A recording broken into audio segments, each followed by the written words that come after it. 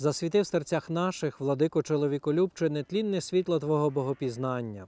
Відкрий духовні очі нашого ума, щоб ми розуміли Твої євангельські проповідування, вклади в нас і страх блаженних Твоїх заповідей, щоб, перемігши всі тілесні похоті, ми провадили духовне життя, думаючи і діючи усе, що угодне Тобі.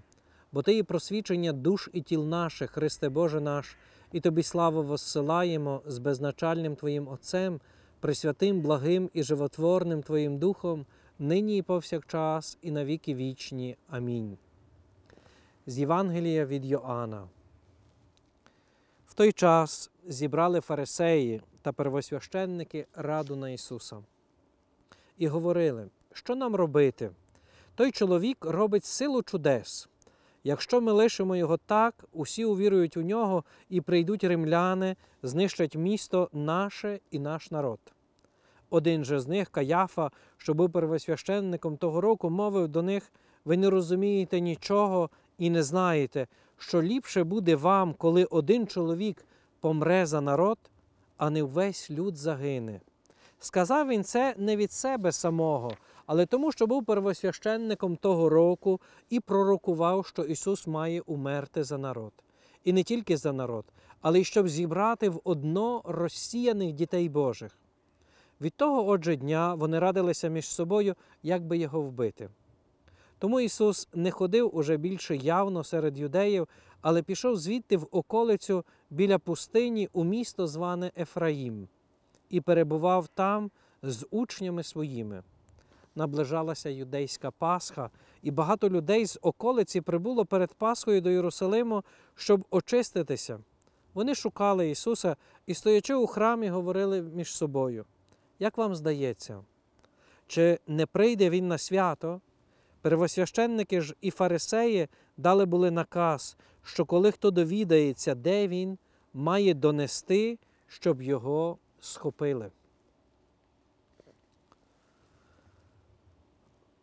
Вже вчора в Євангелії ми чули, як фарисеї, ті, котрі допитують сліпонародженого, вирішують, щоб Ісуса засудити, щоб Ісуса позбавити життя, тобто, неначе приглушити Його голос, яким Він не міг би промовляти, або яким міг би робити чуда, або задавати незручні запитання.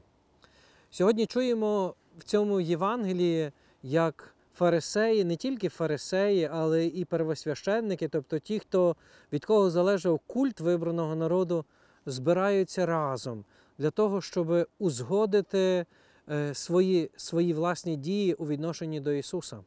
Але знаємо також, що Євангеліє, коли писалося як проповідь для перших християн, мало на меті також потішити тих, котрі уже йшли за Ісусом, котрі також були викинені з синагоги, були переслідувані, щоб могли, щоб побачили у своєму житті, як будують своє життя за Словом Ісуса, як уподібнюються до Нього.